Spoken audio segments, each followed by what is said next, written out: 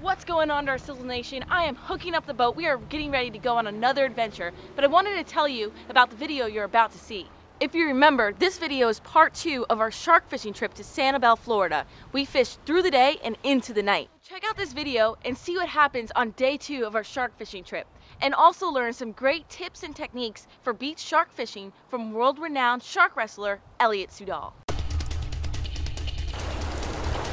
really Dude, that going out. Was it? Yeah. I saw the balloon going out and I was like, no way, something's on. And uh, man, we were just too late on it. Nope. Yeah, good thing I reeled that in. Look at that, we just got wrecked. That's gotta definitely be a shark bite. For sure. Something's out there. Sure. All right. Well, that's a good sign. Crossing our fingers. Hopefully we get another bite here really soon.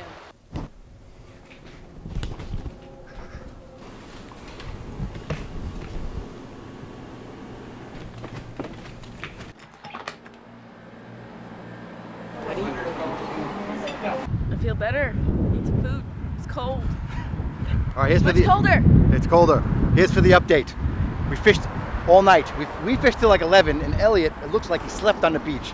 So we've had shark baits out for like 20 hours right now. Bite is horrible. I think he's still sleeping on the beach. We're We're gonna go. him. We're gonna go find him and surprise him. Yeah. And we slept But- in the apartment. Yeah, like we just had breakfast and walk, Brian just walked over to check it out, but like all the rods are still out and the tent and everything is still down there. So we just gotta see if Elliot's there. Crazy. Yeah, for 21 hours, man. 21 hours. That's it. Yeah. Crazy. 21 hours. 21 hours. Lines in the water. They don't want to work with us. Oh my goodness. What do you think, Elliot? Uh, keep fishing, man. They're out there. He There's doesn't give up. All right, so as far as the rod and reel goes, we have an Avet TRX uh, 80 wide here with over a thousand yards of 200 pound braided line. I got about 50 yards of uh, top shot of 250 here, so you need some stretch and abrasion, abrasion resistance on there as well. So this this reel put off 130 pounds of drag. No one can hold on to 130 pounds of drag, uh, even 80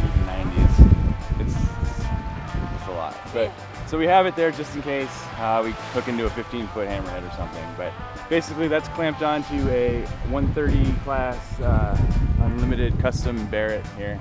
Uh, roller guides the whole way up. It's uh, seven feet. As far as the actual terminal tackle and the rig itself, I, uh, I, I make these crazy um, claw sinkers, basically out of uh, copper wire, old egg sinkers, a swivel, electrical tape, kind of whatever tape it all together, holds in place. It basically works like uh, works like an anchor when it digs into the sand. I mean that that's like two pounds. It's not gonna go anywhere. It'll hold you know really heavy bait in place. But from there, I put a couple beads, and I I'm really a big fan of these uh, crimp protectors because you don't like when your things get knotted up near the where, where you crimp them together. But I, I tape everything. I do crimps, uh, nicest swivels you can get here. But basically then I go to 600 pound mono for a little while here, another barrel swivel, and then I do nylon coated wire for about four to five feet. Then I crimp it to a circle hook here, which I also cover with electrical tape because it covers up the metal and sharks are very sensitive to signals, metal, signals given off by metal in the water.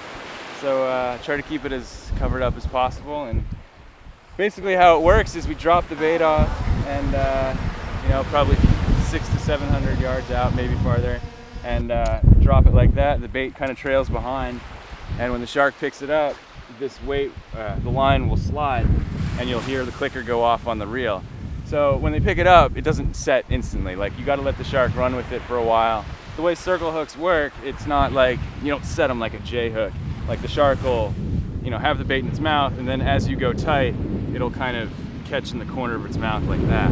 So the way this works, it's just safer for the shark. They don't gut hook. They uh, they work really well, especially you know setting a hook from that far out. I mean, it's like a lot can go wrong. So if you are using a circle, it, it's uh, I think it's the best way. It's the safest way.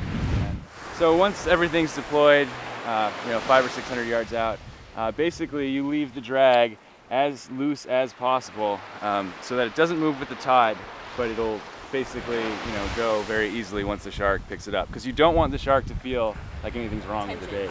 You want him to kind of chew on it, get a good like hold on the bait before you throw 80 pounds of drag on there and sprint backwards.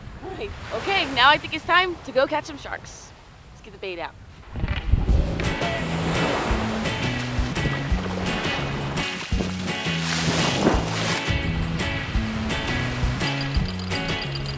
All right, we're on day two. Got all the baits out, four baits right now, and gave it our best shot again.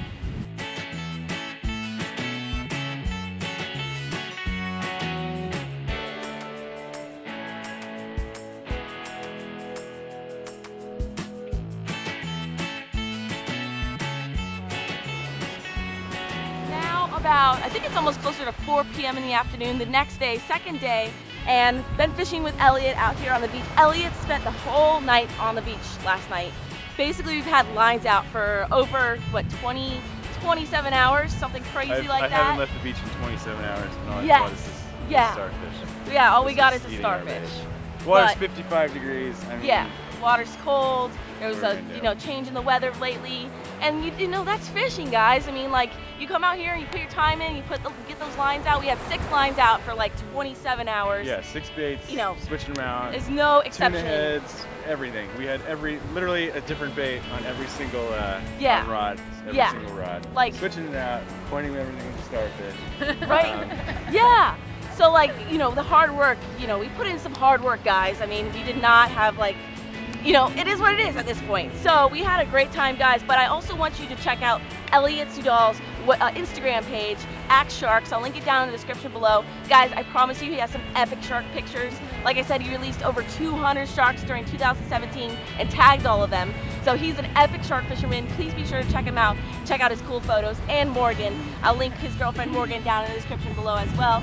Both of them are an awesome couple, and we're gonna be back really soon. We gotta get on these sharks again. We gotta get them. Gotta get them. So, uh, guys, thank you so much for watching. And until our next adventure, follow your dream and keep on catching.